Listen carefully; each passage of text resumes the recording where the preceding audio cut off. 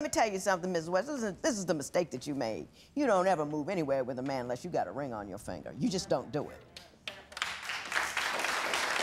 You don't make any man the center of your life unless you're the center of his. And you're not the center of his life until he's made a legal commitment to be with you. You just don't do it. It leaves you so open to not getting what you want. It leaves you where you are now which is out here with a guy who don't want to be with you anymore, and now you have no claim. You have no claim to transitional support. There was no marriage there. There was no promise to support you, so I can't give you transitional support because you didn't get, you know what I mean? Yes. you know, ooh, just I, respect yourself.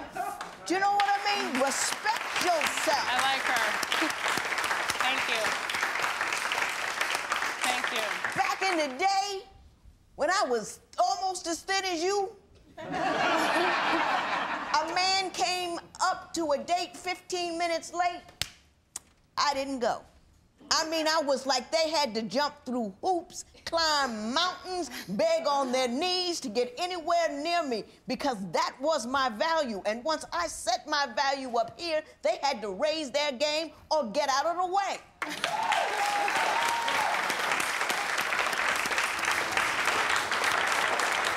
You made some promises to her not to marry her so much, but that you were going to pursue a life together out here. She relied to her detriment on those promises. I think that at the very least, she, she should be put in a position close to where she would have been had she not come out here with you. She cannot get transitional support, but I think $1,100 uh, for the uh, the trip back home is more than reasonable, and I will award it to her $1,100 in favor of Miss West.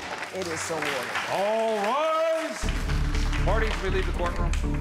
I don't talk to Victor. Victor doesn't talk to me. I think that Victor right now is in New Hampshire. I decided that I am going to move to New York and I'm going to apply for some modeling agencies and try to see where that takes me. Um, I want to thank the judge and I want to tell her that I think about what she said to me every day and that I, I try to remember remember what she said to me because her words were very helpful. I really needed to hear it. I really needed to hear everything that she had to say to me. Um, she blessed me. She was, it was a blessing.